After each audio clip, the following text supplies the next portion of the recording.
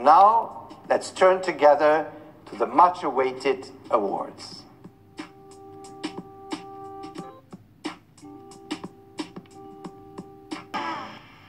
And now, ladies and gentlemen, the final special prize the 2020 Special Awards for Distance and E Learning Solutions.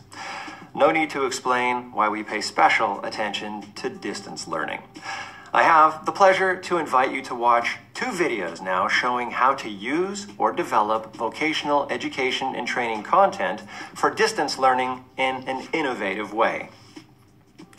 The first one is from ISTR, University Institute for Sciences and Techniques for Rehabilitation, under the Lyon University, represented by Patrice Thierry from. Vous voulez apprendre l'anatomie L'Université Lyon 1 vous propose FOVEA, une collection de cours basée sur la 3D. La 3D pour mieux imaginer et comprendre le corps, votre corps. La 3D pour animer l'anatomie du corps en mouvement. La 3D pour vous aider à réussir. Les cours sont en ligne, gratuits, basés sur une méthode pédagogique innovante. FOVEA, pour apprendre autrement, à distance, ensemble. FOVEA est une production MOOC proposée par l'Institut des sciences et techniques de la réadaptation de l'Université Lyon 1. À bientôt sur notre site, à bientôt sur FOVEA.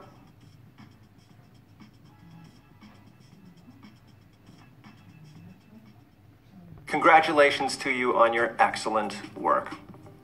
Ladies and gentlemen, again this year, our guests showed you that all around Europe and beyond, there are extraordinary efforts being made with the aim of making vocational education and training more attractive.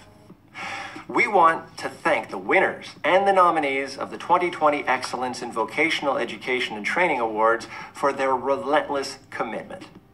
A special thanks goes to the winners for distance and e learning. They show how we in the vet community can adapt to changing circumstances and never give up in our pursuit of excellence in vocational education and training.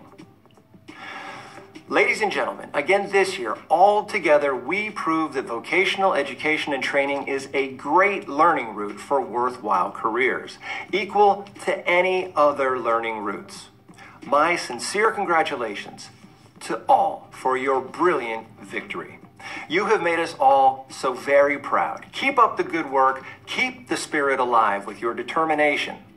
And now, it is time to celebrate all these achievements.